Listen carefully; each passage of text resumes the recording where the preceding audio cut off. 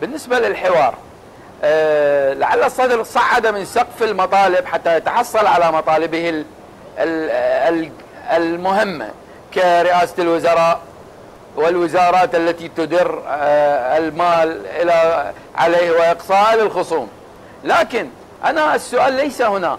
هل نبقى نحن كعراقيين ندور في هذه الحلبة؟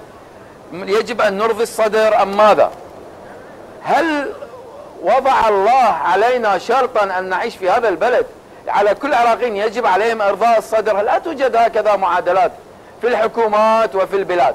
الصدر ليس ملكا على العراق اليوم وليس رئيس الوزراء ويمثل تيار ديني سياسي. الإسلام السياسي الذي يتحدث عنه الصدر هو يطبقه بحذافيره.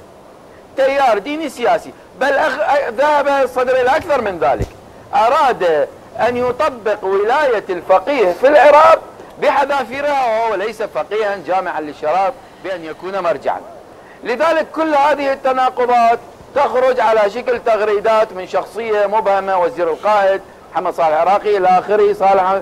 كل يعني دولة تدار بتغريدة لا أو بقصقوصة دولة تدار بآراء متخبطة دولة تدار بتهديد الآخرين. كيف أنا اليوم أنا كدولة وأنا أدعو كل جميع السياسيين إلى أن يلتفوا ويجدوا مخرجا منطقيا للوقوف آه، أمام هذه الظاهرة.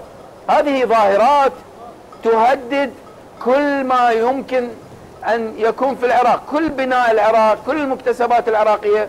أنا لا أستطيع أن أعيش في ظل بلد وأن أضمن وجود حكومة قوية وأنا أتعرض للتهديد من خلال تغريدة من شخص اسمه وهمي. ليس لديه صفة. كيف أنا اليوم أطلق على نفسي قائد سياسي؟ أنا أخاطب الأخوة بالإطار والأخوة بالكردستاني والديمقراطي وعزم وتقدم وكل الأحزاب المنضوية اليوم المشكلة لهذه الحكومة التي لديها ممثلين شعب انتخبوا في انتخابات شابه ما شابه من تزوير أفرز لدينا 73 مقعد للكتلة الصدرية. أنظر إليكم. أين موقفكم اليوم من الدولة؟ أدعو السنة والكرد الذين وقفوا وقفة المتفرج وهم ينظرون إلى أخوتهم الشيعة يتقاتلون ب... وصلوا إلى حد يعني سفك الدماء أن يتدخلوا. كل ما يحصل خلاف سني سني يتدخل الشيعي لإطفائه. الخلاف الكردي الكردي يتدخل الشيعي. لماذا أنتم اليوم ساكتون؟ تمام. لماذا هذا الصمت أمام هذه المشكلة؟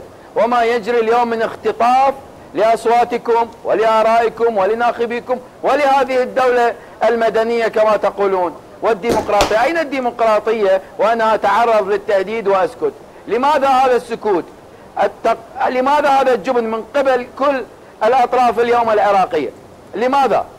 فئة قليلة تختطف مني الدولة لماذا؟ لستم مؤهلين تمام أستاذ قولوا لنا. دعني أتحول لدكتور جهاد أنتم متواطئون.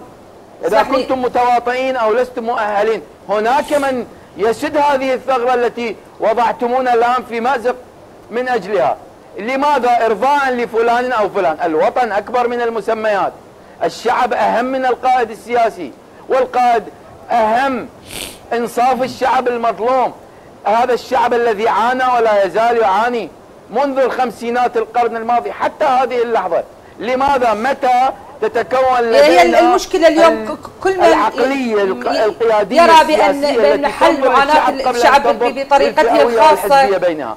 بلا استثناء. كلكم شركاء اليوم لأنكم تركتم سله صغيرة متمثلة بالتيار الصدري بأن تتحكم بمصير هذا البلد. تمام.